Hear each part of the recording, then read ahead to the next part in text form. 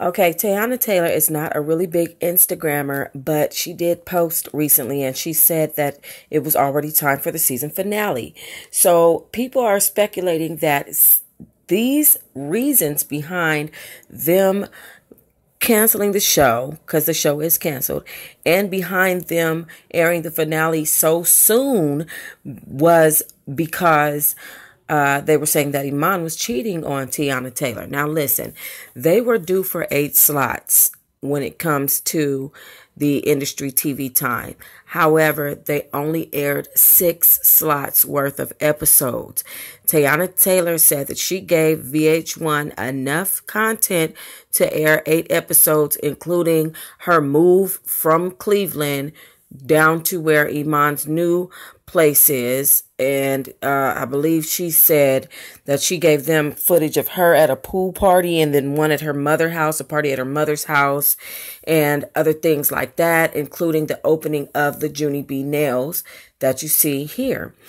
Um, so Teyana of course, hasn't mentioned anything about these rumors, but there's been several different um, sources that has given the reason for them canceling the show. And it has nothing to do with Iman Shumpert cheating on her. He's definitely um, been a family guy. He's cheated before and he publicly apologized to that. So he could be doing whatever he's doing. But whatever the case, that's not the reason for them canceling the show.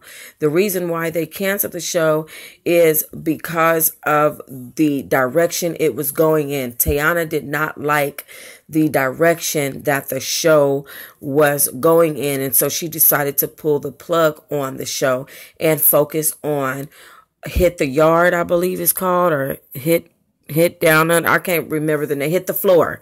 Hit the floor. She's focusing on on hit, on hit the floor, um, which she's currently obviously casted on, and of course Iman is focused on his career. So the reason why I keep going back and forth is because I can't show too much, or they'll say like that logo.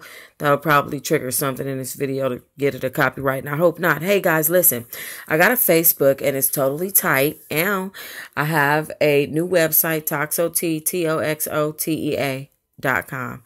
And of course, I would love for you guys to join my Instagram at toxic T O X S I Q U E.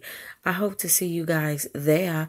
I should be starting live shows on my Instagram in the next two to two and a half weeks. Let's say two to three weeks.